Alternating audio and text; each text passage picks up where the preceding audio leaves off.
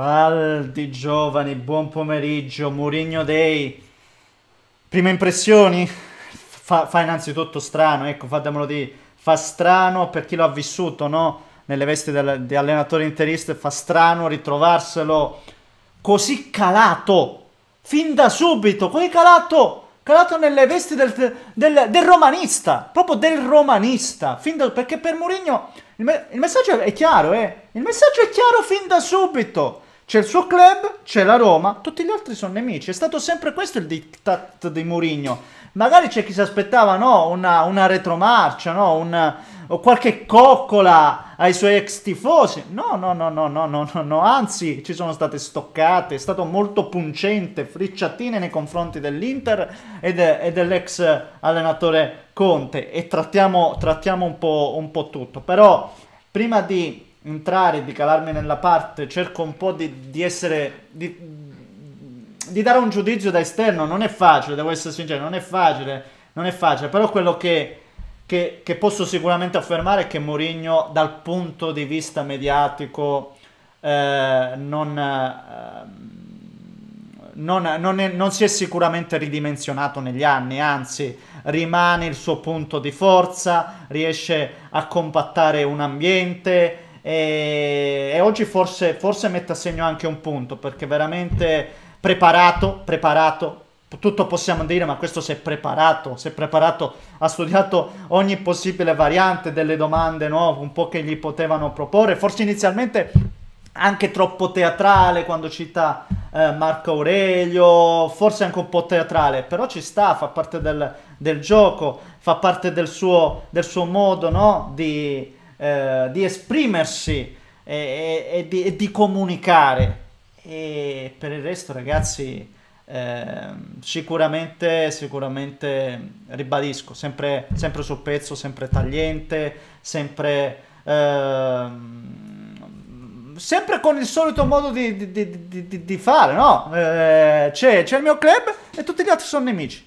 È mo- molto molto chiaro, molto molto chiaro e ripeto, da questo punto di vista sicuramente ne ritroviamo il Murigno di sempre, perché poi questo è il, il discorso. In tanti dicono, ma questo Mourinho no, eh, ha perso dei colpi negli anni. Ecco, dal punto di, vista, di, dal punto di vista mediatico, oggi abbiamo capito che sicuramente non li ha persi. Attenzione, poi andiamo a vedere cosa saprà fare sul campo, come lavorerà alla Roma, se riuscirà a trasmettere mentalità alla sua squadra. Questo lo appureremo, questo lo e vedremo un pochettino, perché ad oggi non si può, non si può sicuramente eh, aggiungere altro dal punto di vista mediatico è il solito Mourinho. Ecco, su questo credo che siamo un po', un po', tutti, un tutti d'accordo. E mi è piaciuto tanto quando, quando appunto ha detto che questa non è la Roma di Mourinho, questa è la Roma dei romanisti.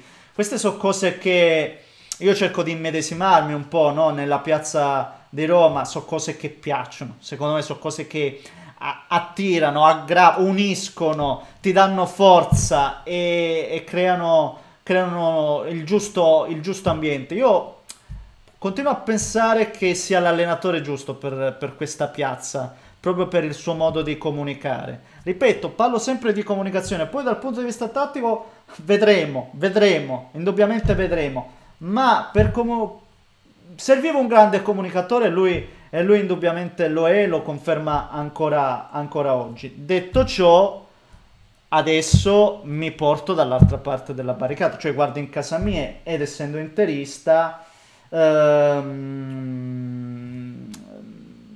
andiamo, andiamo, a vedere un po', un po' la stoccata che, che ha lanciato all'Inter quando gli parlano di titoli, no, perché poi alla fine quando arriva Mourinho le aspettative sono alte, c'è, c'è indubbiamente che inizia a parlare di titoli e quant'altro. E lui come risponde? Non vogliono successo isolato.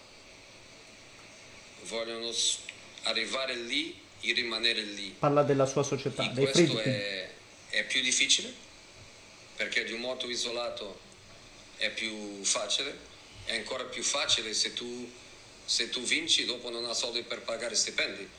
Però, però noi vogliamo essere sempre sostenibili e siamo completamente insieme in questo in questo pensiero. Lavorare che arriverà. il discorso degli stipendi, molti subito hanno tirato la storia, subito l'hanno associato giustamente all'Inter, no? al discorso degli stipendi, ecco. Ehm... Cosa vogliamo dire? È, è, un, è, facile, è facile buttarla sul, sugli stipendi. Sappiamo bene, ragazzi miei, che dall'Inter calciomercato che si sta per, per avviare, si è avviato e, e, e non è scappato nessuno dall'Inter. Cioè, ditemi un giocatore che ha visto, ha visto no, de, de, de, dei buchi economici ed è voluto andare via. No, l'unico che è scappato subito è stato un certo Antonio Conte. Tra l'altro, si è portato a casa anche 7 milioni e mezzo. Se non ti pagano, se non ti pagano, te ne vai, te ne scappi. L'altro che è andato via è Kimi, ma non perché, è andato, perché è voluto andare via lui. No, l'hanno praticamente messo alla porta. Hanno detto devi andare via. Perché? Proprio per il discorso sostenibilità e sono d'accordo, son d'accordo con lui perché all'Inter adesso si deve fare questo, questo discorso. L'Inter per assecondare le scelte di un allenatore che voleva a tutti i costi vincere, l'Inter ha fatto delle mosse anche avventate, mosse che adesso costano e mosse che ci portano per esempio alla cessione di, di Hakimi, ma buttarla sull'Inter, o meglio, lui non ha detto questo Mourinho, eh. poi è normale che cavalcheranno l'onda e vorranno farlo passare per quello che ha detto che l'Inter non paga gli stipendi, no, ma eh, in una situazione del genere, ragazzi miei, pandemia, Covid, stadi, stadi chiusi, non possiamo star lì a bacchettare l'Inter per degli arretrati sugli stipendi, stipendi che poi sono stati saldati, altrimenti ditemi voi, chi rimane, se non ti pagano, tu rimani a lavorare per chi non ti paghi, non rimani a lavorare per chi non ti non, non, non ci rimani, non ci rimani, te ne vai, te ne scappi il prima possibile. E così, e così non è, non è, tranquillamente. Quindi, giusto per rispondere ad una provocazione che, ripeto, poi finirà sicuramente per essere associata, associata all'Inter. Però come sappiamo l'Inter adesso si è mossa appunto per, per diventare sostenibile, per diventare sostenibile.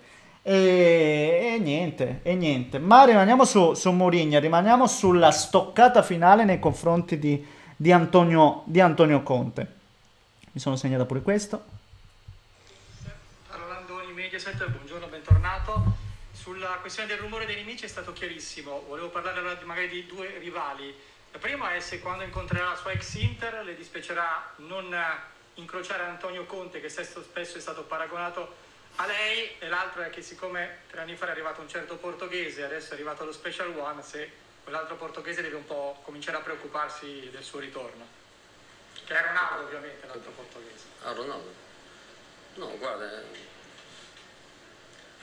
ci sono ci sono dei allenatori nelle storie dei club che tu non devi paragonare mai, ok?